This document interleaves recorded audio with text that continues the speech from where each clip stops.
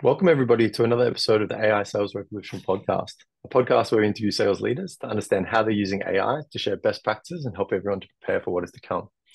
I'm Bowen, the CEO of Wonderway, and today I'm lucky to have the brilliant Jenny, Jeremy Donovan with me. Uh, so Jeremy is now working as the EVP of RevOps and Strategy at Insight Partners, where he's working with their portfolio companies to help them grow faster. Um, now, I came across Jeremy because um, I follow his, his posts on LinkedIn and I know he's super research focused.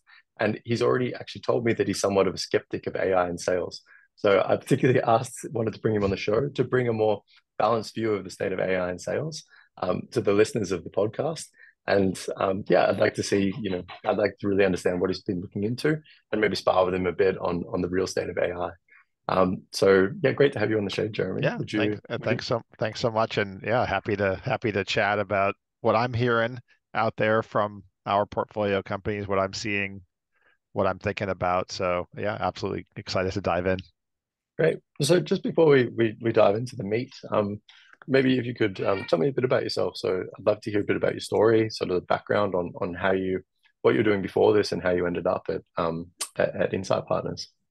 Yeah, the, the the fastest version, I suppose, is I started life out as a semiconductor engineer, and the that data and analytics and programming part of me has always been a part of every job I've ever done. Eventually, my career wound its way from semiconductor engineering to revenue strategy and operations, which I've been geeking out on for the latter latter half of my career here. So um, yeah, that's that's kind of the the the long and the skinny of it. Prior to this job, I was at a, uh, one of our portfolio companies, SalesLoft, for four years, and then got the chance to move over here when SalesLoft was acquired. And it, it's a cool job because things like you know the AI that we're going to talk about today.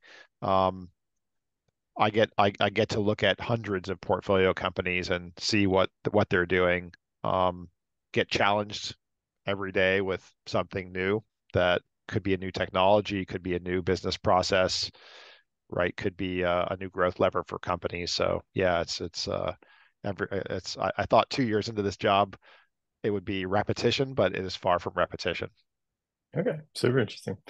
Um, well, yeah, let's dive right in. So, um, you know, I think as as you just pointed out, one of the most exciting things about your role is you're able to look at across um, a whole portfolio. Insight Partners has got a gigantic portfolio of companies, so you've got this kind of bird's eye view of what's trending across across some of the, the you know fastest growing tech companies in the world.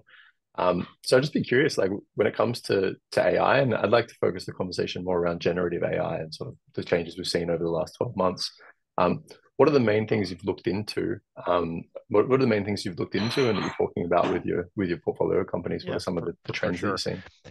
And I'll start with a qualifier. I mean, I think you appropriately did frame me as an AI skeptic. I think I, I am a relative skeptic.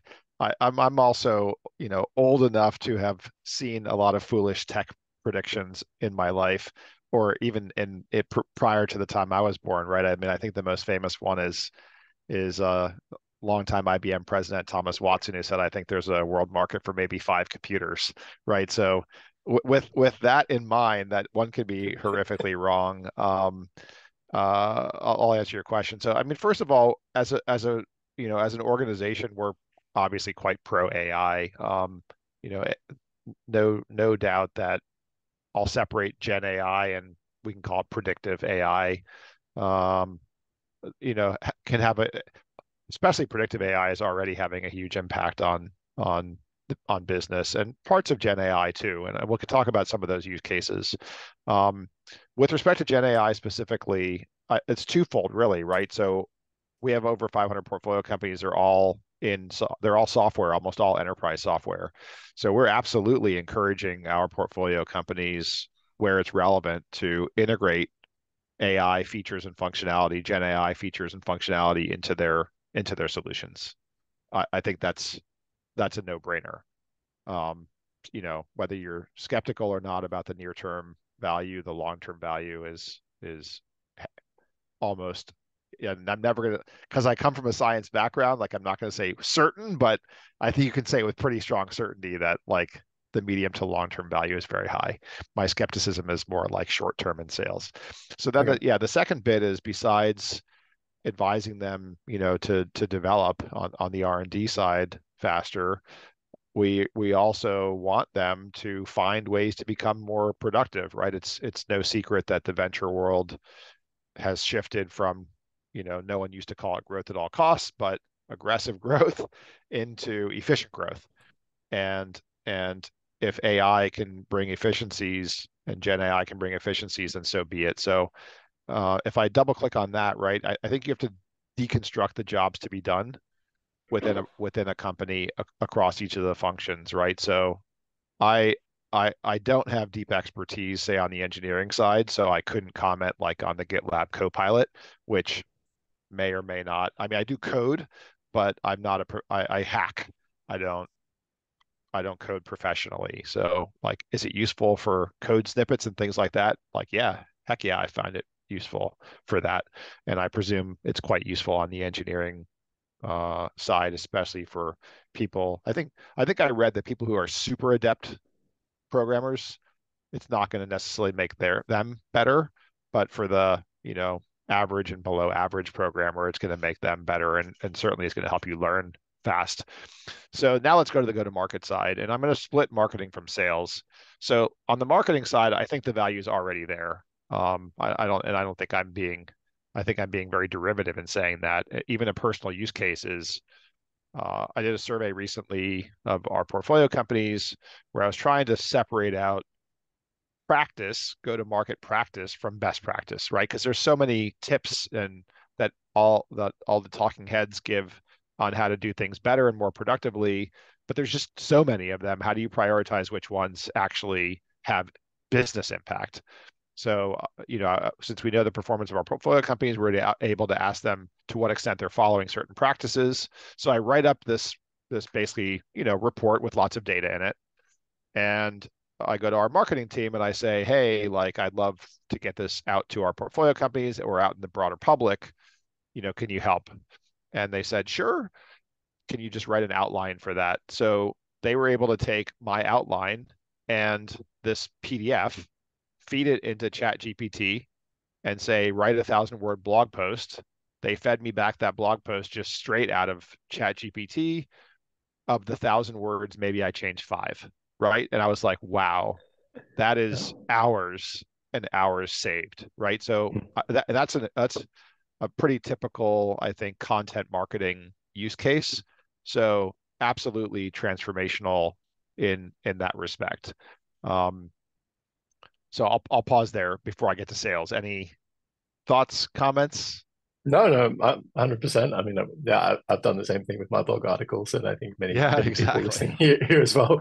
I mean, I, yeah. I gone are the days of sweating over you know words like wordsmithing articles and you know when I would always write them on the weekends and, and like late at night and usually my brain wasn't working very well and I'd be rewriting the same sentence over and over again and then eventually just like ah, it's a blog article you know 80% is good enough but now it's just like you know it's instant it, it's, um, it's, and, it's, and the better input you give it right like the fact that I gave it both an original PDF as well as an outline that combination was pretty killer. I think if I had just given it an outline and I didn't have data, uh, I don't know how. I mean, it would have been better than just write me a thousand word article on best practices and go to market, because that's what I was trying to avoid. Is is I don't just want the synthesis. Uh, you know, Gen AI is the synthesis of a corpus of text, and I just I don't just want the synthesis. I want to know the reality, right? Like hallucination is not okay and and there's not a huge hallucination problem necessarily for things that are covered well but a lot of people are pontificating on go to market best practices and not all of them are like really needle moving uh, uh, a lot of them are serving you know an agenda of one kind or another so yeah so moving on to the sales side again i think you can deconstruct even further i, I deconstruct even further the jobs to be done right and you can talk about top of the funnel prospecting. You can talk about mid funnel stuff, opportunity management. You can talk about post sale customer success, implementation, renewals, what have you, right? So what I what I'm observing is the following. Absolutely everybody is is accelerating the use of Gen AI for top of the funnel prospecting. And here's my concern is um, you know, having looked at this stuff for ages, as soon as something novel comes along. Like years ago, uh, it was really novel to put your a person's first name in the subject line of an email. And when that when that and now like you're smiling now, but when that first came about, that was going to drive much higher response rates because it showed that a human took the time to type your name into the subject line of an email. It showed human effort. And of course, we all destroy, you know, we all the the sort of tech ecosystem, my, my, my you know, myself included, uh, sales tech ecosystem destroyed it because we turned that into a dynamic tag, and then you could just drop someone's first name in there, and poof, it goes away, right? Um, and then, and then we got more. We've been getting more and more sophisticated and now we're at the point, right, where you could feed in someone's LinkedIn profile, you could feed in their 10K, whatever. And and but what you what you get on the on the recipient side is cookie cutter stuff. And even though the personalization is objectively better and getting better every single day, when you and even if a human couldn't otherwise detect human effort, now the detection of of genuineness of authenticity is is like difference effortful difference. And if if you if every email you get is kind of citing the same factoids then it, it again they just delete delete delete delete delete. Um you know spam filters may or may not catch that but it's delete delete delete delete delete. Mm-hmm. so that's my that's really my issue is like AI, Gen AI has given us the ability to send a lot more emails faster and even arguably better, more personalized emails faster. But the consequence, though, of all these emails is a lower and lower response rate. I, I don't exactly know what the cold, truly cold email response rate is. I'll read sometimes people on LinkedIn will talk about response rates that I know are not true. I know as of like five years ago, even the the best truly cold outbound response rates to emails was maybe two to three percent, probably skewing towards two. And that was, you know, four or five years ago.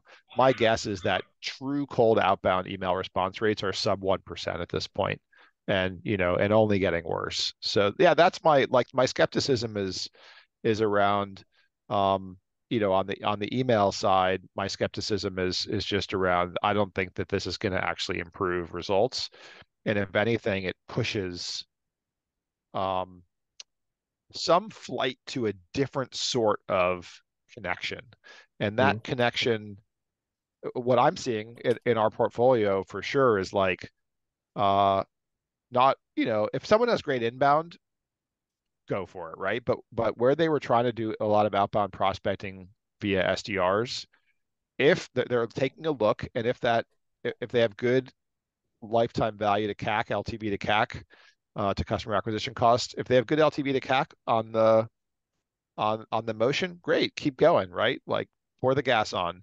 But in many instances, the LTV to CAC on the outbound SDR motion certainly is is not great overall. They're looking at that by segment whether that's SMB, mid market, enterprise, different geographies, whatever, like really going through with a fine tooth comb.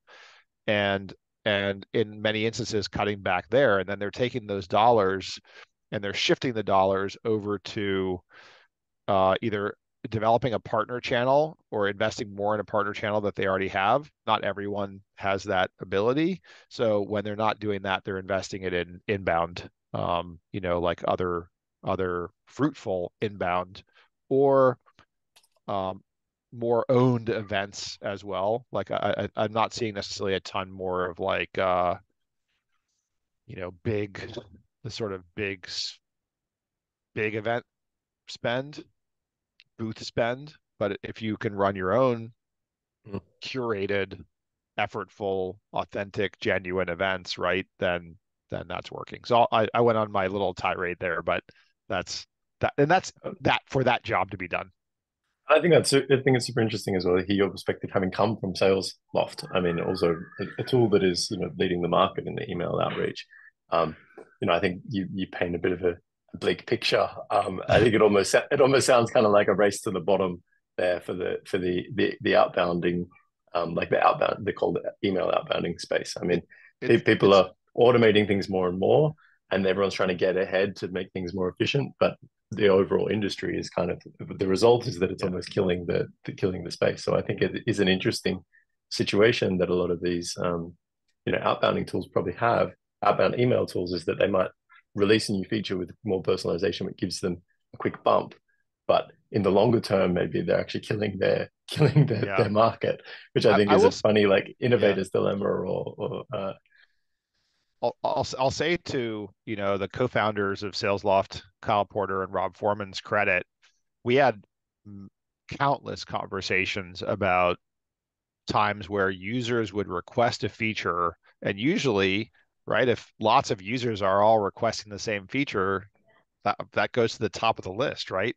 So, for instance, being able to automate an email uh, in a in a cadence or sequence we had a lot of debate about whether we wanted to do that because we were very, very worried that people would send like disingenuous emails, uh, wouldn't put the thought into personalizing the content. So ultimately, we you know we yielded to the customer demand, but that was that was not a an, an, an a thing that we were particularly happy about doing and there were other instances yeah of, of features like that where um, you know we really we really tried to put a stake in the ground and educate via customer success or other content that we were putting out there to say like hey um, yes you can do these things but you should not do these things. And obviously a lot of effort into throttling you know emails that could be sent out for deliverability purposes and so on a lot of effort into research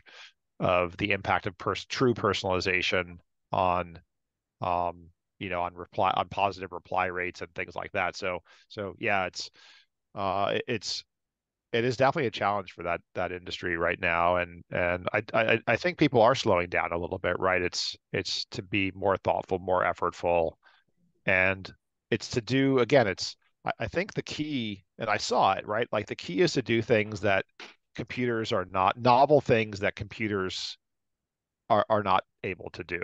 So like there's there are fewer of those things, but I think a, a, good example of that still are things like watching somebody's um, you know, like listening to their podcast, watching them on a webinar, watching them in some appearance that they that they have and and citing very specific things about you know about that. And yes ai will get there on that too and and maybe borderline there on that too but not totally yet.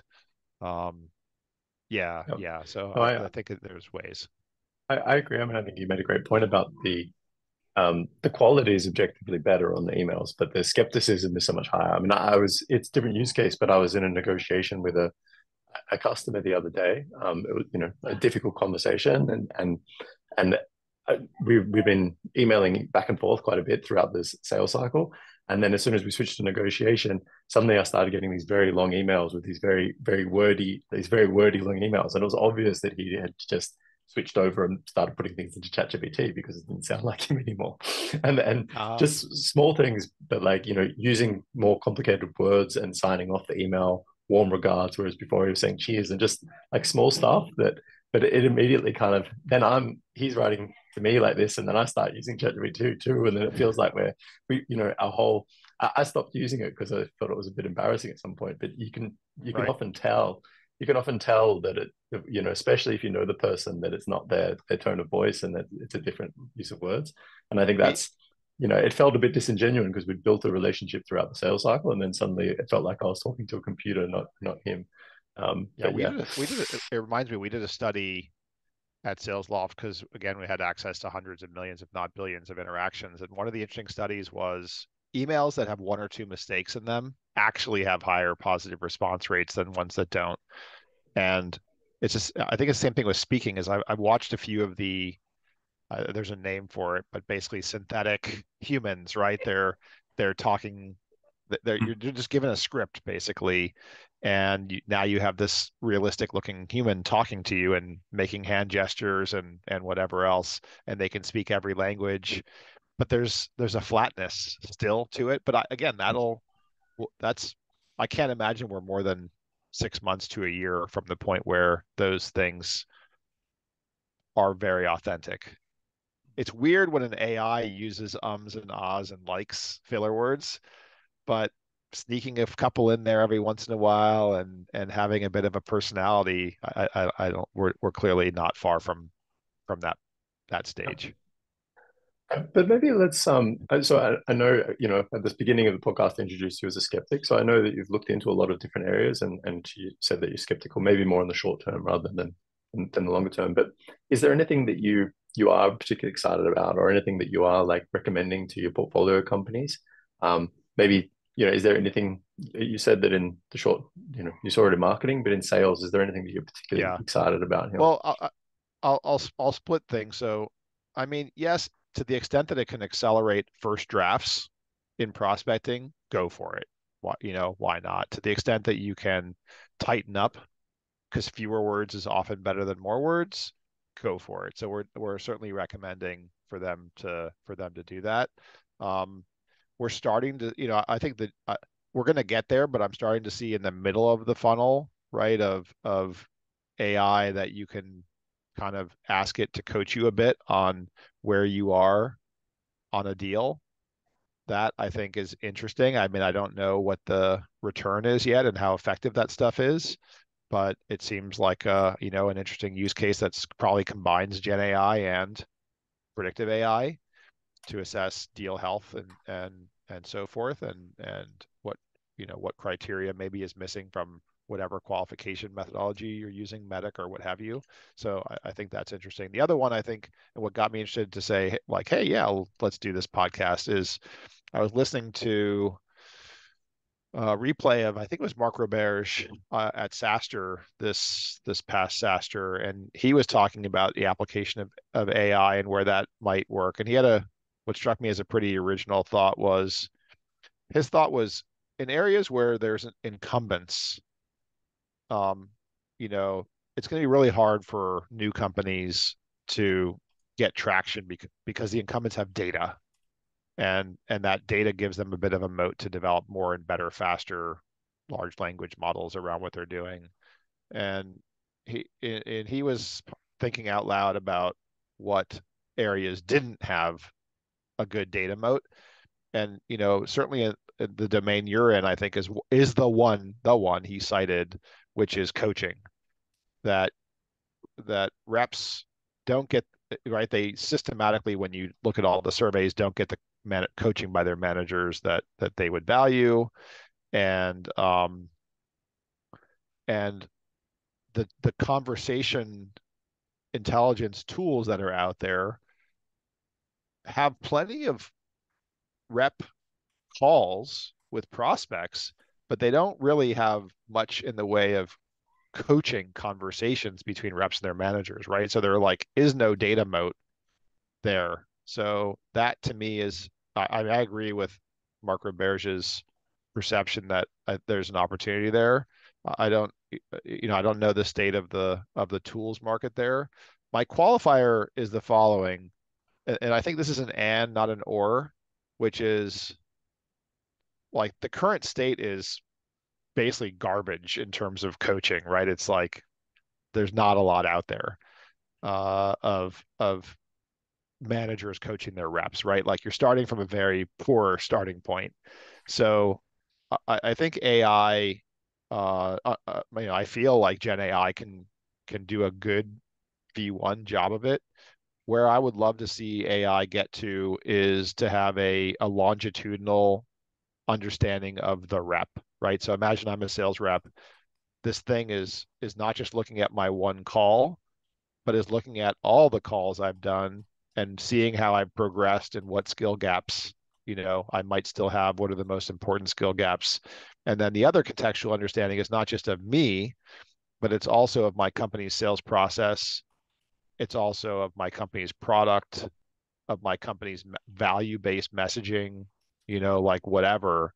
Uh, so that, and, and what I'm getting at here is that I don't know that Gen AI is at the point where it's as where it, it's caught up to the human when they do coach that it's caught up to the human in terms of that contextual understanding but i, I think i mean I would be naive to say that we won't get there also. And who knows if, it's really hard to predict anything other than tomorrow. Uh, and tomorrow's hard enough to predict, but it, it, it seems things seem to be going so fast, and this seems to be a, a very solvable type of a type of a problem. Um, the other thing I, that's on my mind about this is, and this is why I say it's an and, not an or, is I I I would love to see a study of how uh, of the ultimate behavior change when you get coached by a machine versus a human.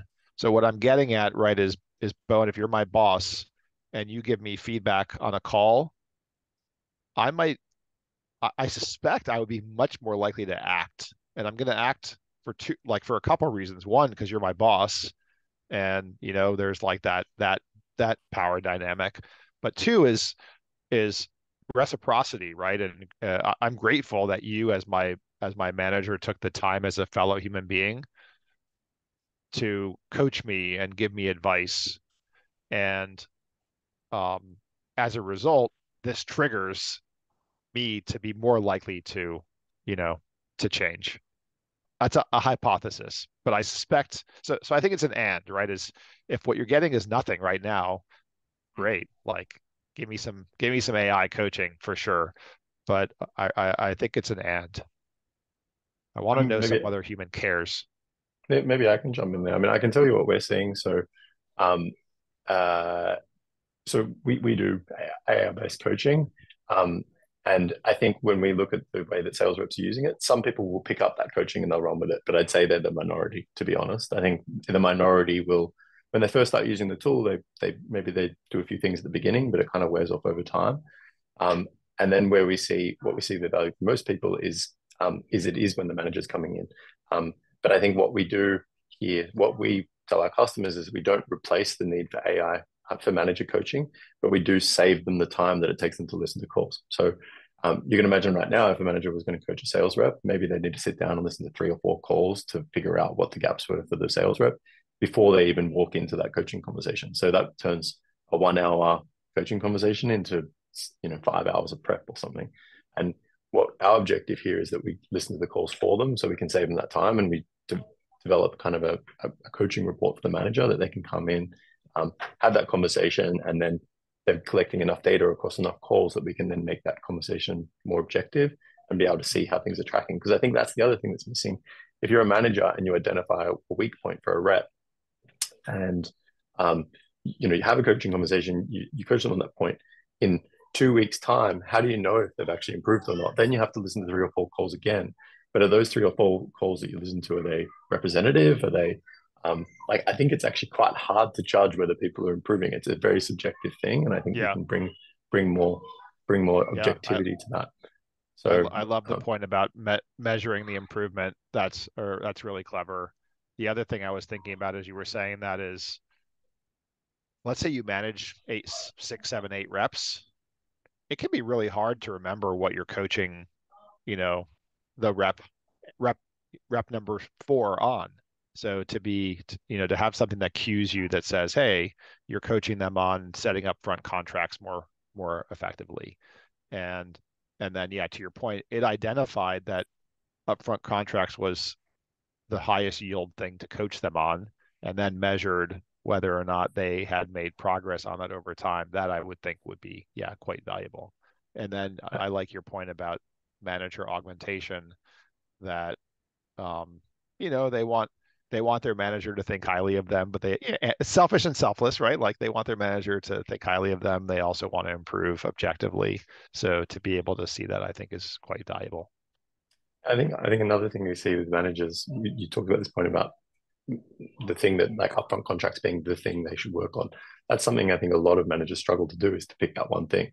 Like the way that conversation intelligence tools are built now is that you comment timestamped along a call. So what a lot of people do is they'll listen to a call and they'll they'll nitpick on details and there could be 15 points that they put out on the call and then that feedback is completely overwhelming for the salesperson when they get this stream of consciousness throughout their call and then it's like okay i need to change 10 different things where do i start here but i think that's also a big part is like okay yes there's room for improvement in a lot of places but if you had to choose one thing to focus on and let's do that for the next two or three weeks then let's make sure that's consistent until we see things moving, you know, getting into a, a good place, and let's choose the next topic yeah. and stick with that for a while. So I think there's a lot of here about, um, you know, coaching the managers. I think a lot of managers don't necessarily have the skills or haven't been, you know, they don't, they, you don't get trained on this. So I think helping them as well to prioritize things rather than nitpicking on smaller details. What is that one thing um, that they should be spending on with each person and keeping track yeah. of that over time?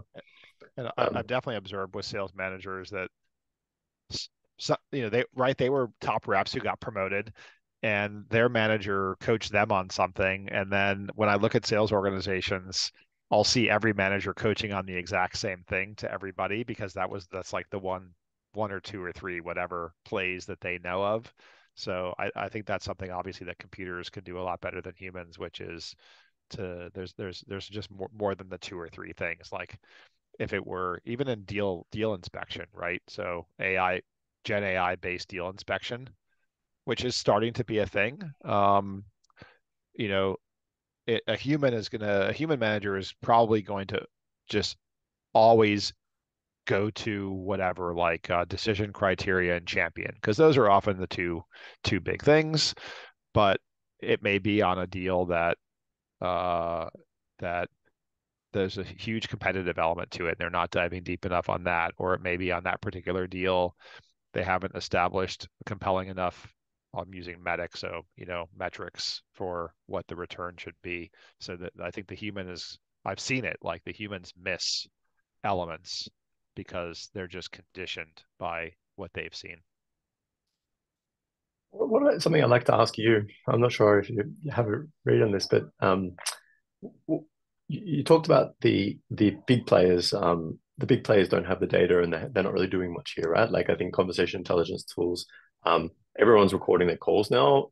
Um, they kind of position many of them position themselves as coaching tools, but I don't think that's what people actually use them for. They use them as call recorders and to go back and search for keywords for other things, you know, whatever. But uh, I'm I'm somewhat surprised that the big players haven't taken a stronger step here in the last in the last year. Like, I'd be curious to get your thoughts on why you know why do you think it is that um, you know the, the gongs and choruses of the world are not are not are not pushing harder into this space. Um, you know, I, I, know you said you're skeptical about some things about longitudinal and yeah, things like that, yeah. but I think I think we can already make some big improvements now, and I think the the, the the potential is massive as the models improve over time. But you know, in your opinion, why do you think the big players are, or are they? Maybe they are, and I'm not aware of it. But, but what's your read on? Uh, yeah, I mean, I agree with you. I don't think they're they're there. I think the reason I have to I have to dance around specific company names, but I'll I'll talk like okay. euphemistically yeah. about this. So, um, I think the reason they're not there is simply because of of well, twofold. One is early on in the days of conversation intelligence, the message was about coaching, and the, interestingly, the users and buyers didn't end up really using it for that purpose. So the use case shifted, right, and it became much more about I'm a rep and I don't have to take notes during physical notes during the call because I've got the backup. And uh, if I'm gonna if I'm a manager and I need to review something, because let's say I'm gonna go, you know, my rep's gonna bring me into the next meeting and I need to prep, I can watch the call. So I think that like that kind of use case or enablement or product management, right? Ditto, ditto, ditto on all on all that stuff. But what didn't happen is is the thing you were describing earlier, which is no no one was actively going in and and even times you know to the comment about about about like the linear timestamp commenting that would be a, a pleasant thing if people actually did it but they don't. They're just not coaching each they're not coaching each other. The managers are not coaching the reps. So I, I think the use case evolves. So that's one thing is like there's just not a strong enough signal of, of demand to use these tools for coaching. So that just when they look at their punch list of all the things that they need to do, even in conversation intelligence, there there are more important things for them to you know to, to go after. For instance, adding Gen AI to the tool so that you can interrogate the call and or get summaries and whatever else. So I think mm-hmm. that's thing one.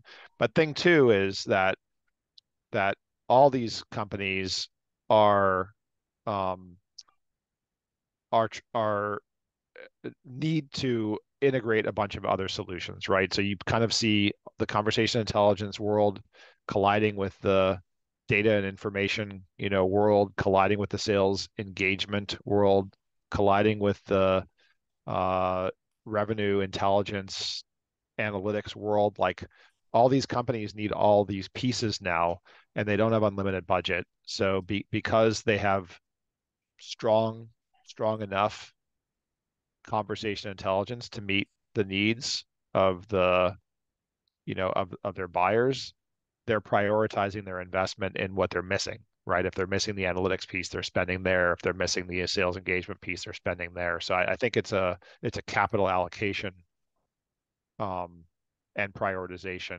issue more than anything more than anything else. Like, is there objective value in getting better at improving the the ability to use these tools for coaching? Absolutely. Do they think they can get a, a, more return on invested capital by doing that versus the other things that I don't think they do? I think that's the reason. I think it's an economic decision. Hmm. Yeah, I, I'd, I'd agree with that. Um, I agree with that, especially for the size of the companies. I guess they need to be looking at things that are going to move the needle, and in terms of you know, if you've got a if you got a five billion dollar valuation, you need to work out how you're going to move the needle on five billion dollars. Um, yeah, yeah, uh, sure, yeah. But uh, but maybe that that leads to the next question. Do you think that I mean, in your opinion, do you think coaching is high enough leverage space that that it would justify? Um, you know, do you think it's being overlooked, or um, do you think it's being overlooked right now by companies, and it is it is a high enough leverage um, part of of sales, um, sale like is sales coaching high enough leverage that it will become more important, or or do you think that there are just bigger fish to fry? Yeah. Um, I think it's I, actually I think it's well I've always thought it was important, but I once had I once worked for a boss and um, we were talking about budgeting for sales uh, enablement, and he he he explained he he basically said to me there are some CROs who believe in sales enablement formally as a function and some who don't. And he said, I am one of those who believes in it. We're going to budget for it and you know in this particular way. So I do think there are different philosophies about it. So I'll, I'd like disclosing my bias is, you know, I believe in in the value of, of sales enablement as a driver of sales productivity.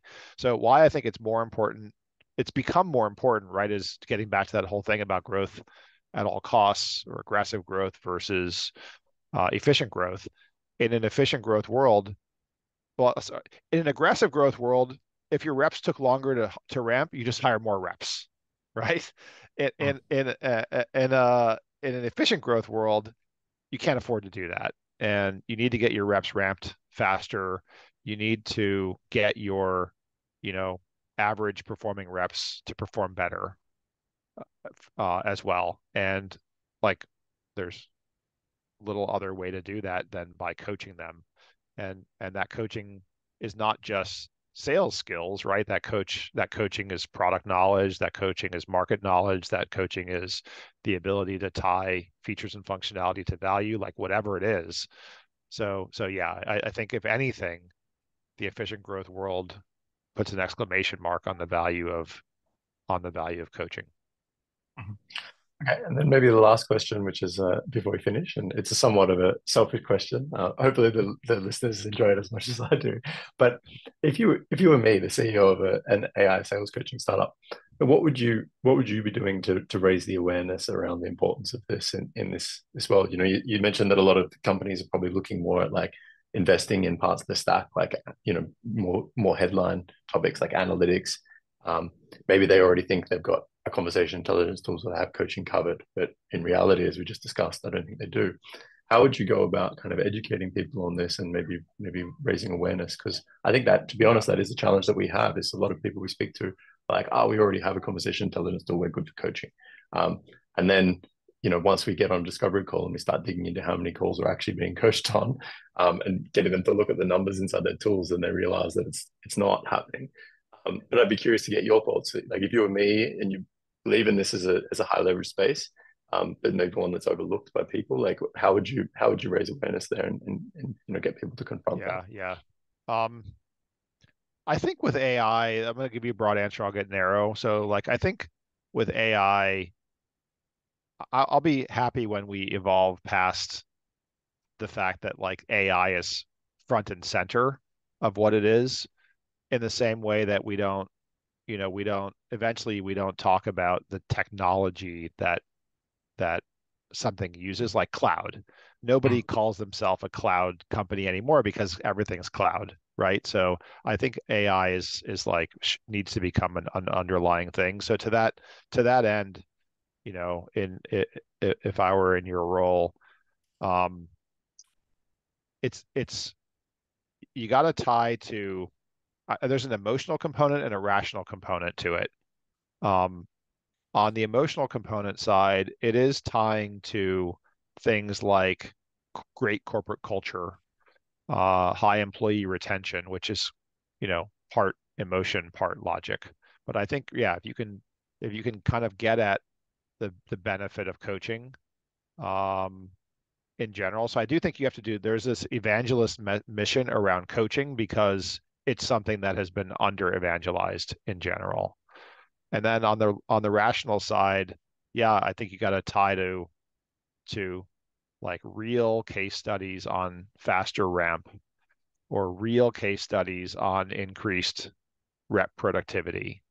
Like those things because you're speaking especially right now, right? You're not just speaking to the head of sales enablement. You're not just speaking to the CRO, but probably to sell anything right now, you're talking to the CFO. And the only way the CFO is going to sign off is like if this is accretive to, you know, to the company quickly. And to the extent that that could, you, you know, you can cut ramp time and or and and I think even more importantly, arguably, is to increase in a measurable way sales productivity. Like, yeah, to me, that's that's the thing. And then, yeah, the other thing is more tactical. I'm a big, I, have become a big fan of a, uh, of uh, just discovered it. Uh, I listen to a lot of podcasts. I just discovered the Chris Walker Revenue Vitals podcast. He's more of a marketing person, but he does talk about the importance of, especially for earlier stage companies, like the the importance of the evangelist role. So, what you're doing right now is is part of what I would do. I would I would have a, a, a podcast out there you know try try your best to have great content and and interesting guests. Uh, people will be the judge of whether i i helped in any or, or hurt you in that respect. But uh but yeah but and then yeah getting not just you know look what he does right? Like he's not just he does his own podcast but he's also out there like on everybody else's podcast to get the word out. Really really you know people look back at, at you mentioned gong earlier for as the exemplar of content marketing because there was and there's different ways to do it you know hubspot way back when also and maybe they're still great i don't know but they were like exceptionally great in the early days um and because they were doing something different and super high value and you know ditto with with gong was great for a long time. They got kind of shaky for uh, it felt like I don't know six months to a year, and, and I was just commenting to one of my friends earlier today that I think they're back.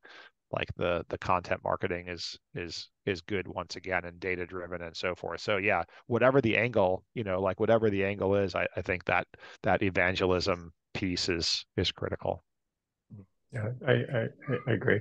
I mean, I think that also goes back to what you're saying. Um, with it, it's so much easier to put out content now, um, like blog articles and things like that. I think also, you know, building the founder-led brand in, in, a, in a market like this where you know it's a, it's a person and it's not an AI generated blog article. I think this is yeah, um, yeah. even more important it, in this ambitious and and, and yeah, that, has been really that's been really bothering me. Like, um, what AI does to content, right? Because it just it 10x's the quantity, and you could argue it can improve aspects of the quality and I was trying to ask myself, in what other places is there basically like infinite content or infinite whatever?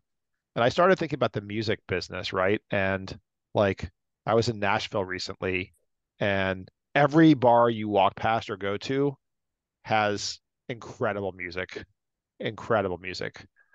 I'm not even a music person, but I, you know, I think I could recognize decent, if not good music when I hear it. And and and yet, right, I don't know. I drove past Meadowlands Stadium and the Rolling Stones are still touring after decades and decades and Taylor Swift was, you know, there recently and and whatever like Beyonce, whoever. There even in a world of infinite content, good content, there's space for great content. And I think that's that that to me is the key is like how do you how do you be great? And and I, I mean you see examples of great. Gong with their data driven stuff was great. Um, uh, there's a company I worked for for a period of time, just shortly, called CB Insights. That the the founder and CEO Anand Sanwal writes a newsletter, and I don't know how many subscribers that thing has. Probably I don't know, probably in the millions. And a newsletter, right? Like, that's it's nuts. But that newsletter is is humongous demand generation for them. But what's awesome about it is the content is really unique and well re- and effortfully researched and he has a voice right like his voice is in that newsletter it's not it's not corporate um it, it is it's him and he has a little bit of snark factor to him snarkiness and but that's human right and his humanity comes through so I, I again like i think that's the key is is like the personality a lot of people sing i don't i mean I'm, i don't a lot of people can sing really, really, really well, and they can play the guitar really, really, really well, and whatever. Like there are plenty of people, but like, why is it that, you know, the Rolling Stones and Beyonce and Taylor Swift and whatever break free? It's not mm-hmm. just right. It's like there's a personality factor.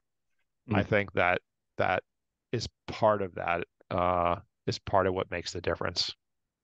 So Okay, um, we're, we're a bit over time. I started by saying that I didn't think we'd make it to 30 minutes, and we're well over that. So, uh, so good job. Must been an interesting conversation. So, um, yeah, thank you so much for joining the show. Um, for anyone that was listening and they want to to get in touch, or you know, um, get in touch with you, or, or, unpack some of the thoughts we had here today, what's the best way way to reach you?